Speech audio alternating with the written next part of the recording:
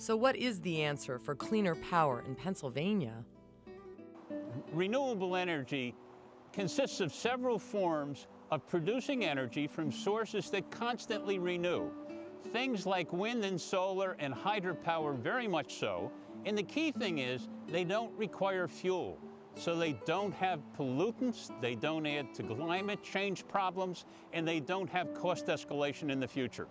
Pennsylvania has a huge potential to develop and use our renewable energy resources. In fact, the experts tell us that we could make something on the order of 5,000 megawatts of wind energy. Well, what does that mean? Essentially, it would represent about 30% of the residential electricity that we use and, and consume, so in our homes and small businesses.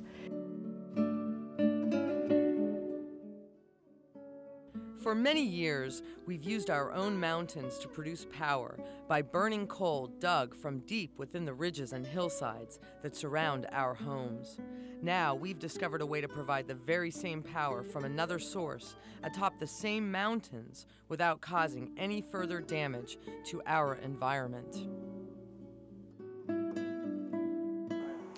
How does wind generate energy? Well, it's really the same as coal or nuclear.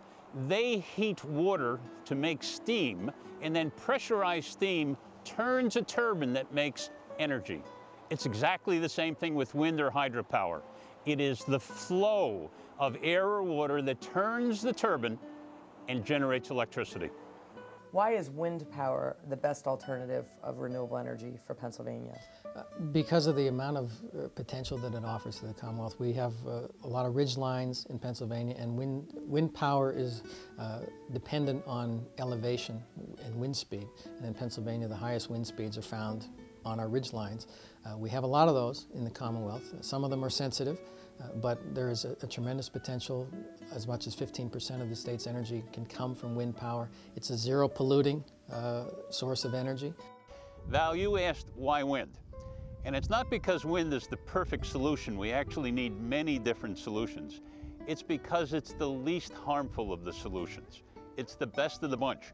And one of the key reasons that it's the best is wind, like other renewable energy sources, doesn't use fuel. So we have no pollution. We have no health issues with airbornes. We have no carbon dioxide for climate. We have no changing costs. Here in Pennsylvania, we now have nine operating wind farms, and some of these farms have been operating for up to seven years. So we have a pretty good handle on those issues and how to address those issues.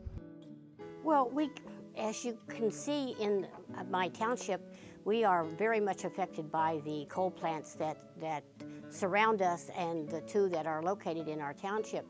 And we also have the wind farm here in our township. The coal plants put out a lot of, of dirt. Uh, it lowers our air quality. Uh, Schuylkill County is number one in pediatric asthma. So that is a very, very big concern for us around here. I think that the wind farms have been a blessing for us because they locate them in mountainous area where there's sparsely any population and it's where the wind blows. I'm a longtime resident of the township. Uh, I worked for the forestry out of high school. Uh, I've been, uh, I'm an avid hunter and uh, I live about a half a mile here, a half a mile from the windmills. I would rather have a windmill farm a half a mile from my home than a nuclear power plant.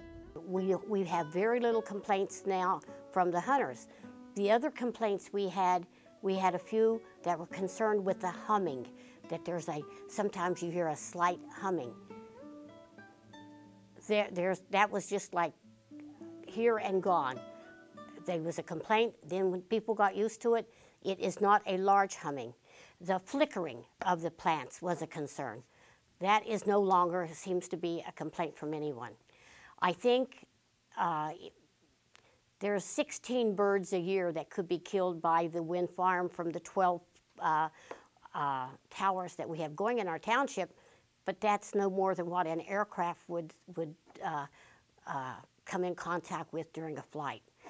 Up and down the East Coast, we have found that bats have been killed more so than birds. We do find some songbirds. In Pennsylvania right now, we haven't had any eagles killed, but like again, we don't have much data. It's very limited.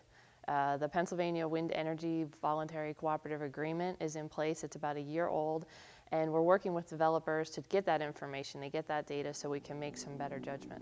If you don't get educated on these wind farms, it's not going to do anybody any good. If everybody sits around and argues about it, it doesn't get anything accomplished. You must get educated on having these wind farms.